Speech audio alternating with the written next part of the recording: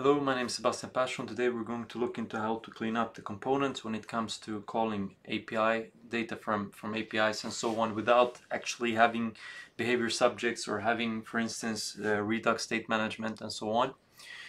Uh, so in this case, usually when you call an API, you want to have some loading states. You would also want to know whether there's, a, there's an error and maybe you would present something whether it should be an error and so on. So as for this, we would essentially just print the data that we have.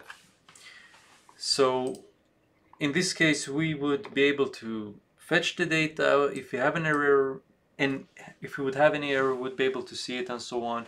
But look at the amount of code. So I mean, from 20 to 33, it's like 13 rows of code in order for, for us to make this.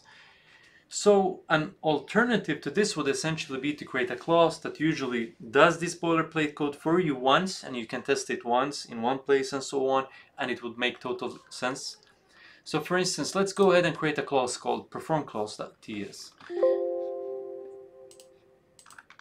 so we'd create the class perform. We would also give it a generic type because the data might vary, vary from API to API. We'd also define a, a variable data we would also define some loading states.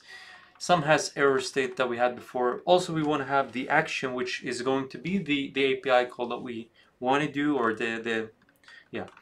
So after that, we'd have a function. Let's call the function load. In this case, it, it would take an action, which would be the uh, observable that you want to have. And usually when you start to make an API call, you're going to set is loading to true. You're also going to set has error to false because you haven't usually fetched anything at all. You'd also want to store the action here for, for some reload purposes and so on. Uh, and now what we want to do is essentially we are going to, to do what we did in the component by here. So if we catch an error, we're going to set the data to be undefined. We're going to have is loading false. We're also going to set has error to true. So this means that we can generalize how this logic is going to happen across the whole application that we have. And once it's successful, we want to actually set the data. We want to set is loading to false and has error to false, essentially because we actually received the data. What I usually do, if you know that we're going to call the API once and once only, I would also add take one here so that it unsubscribes to it per automatically.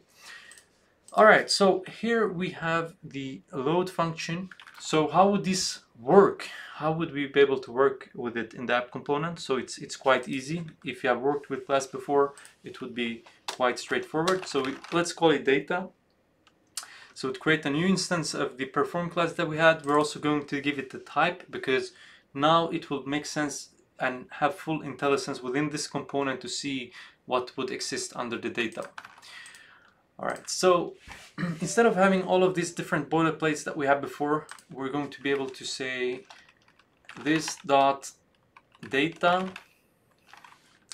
we're going to call the load function that we had before and we're going to pass in the observable that we had.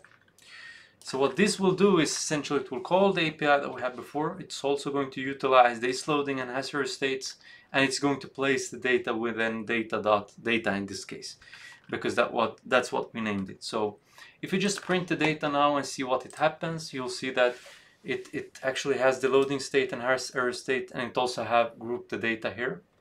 So for us, it would be quite easy now to distinguish this here by doing data data to, to only receive the data and we should be able to look through the data quite easy from the HTML.